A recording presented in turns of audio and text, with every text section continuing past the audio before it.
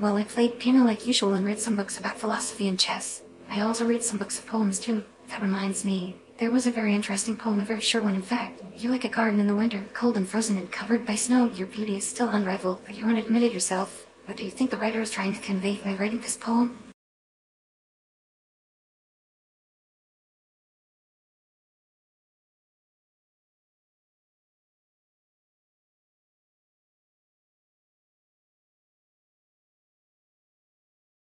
Writer is trying to tell the other person that despite their cold and harsh exterior, they are still beautiful inside, beautiful just like a garden or a flower, and they should never forget this. This poem seems to have a lot of emotions in it, doesn't it? I really enjoyed it.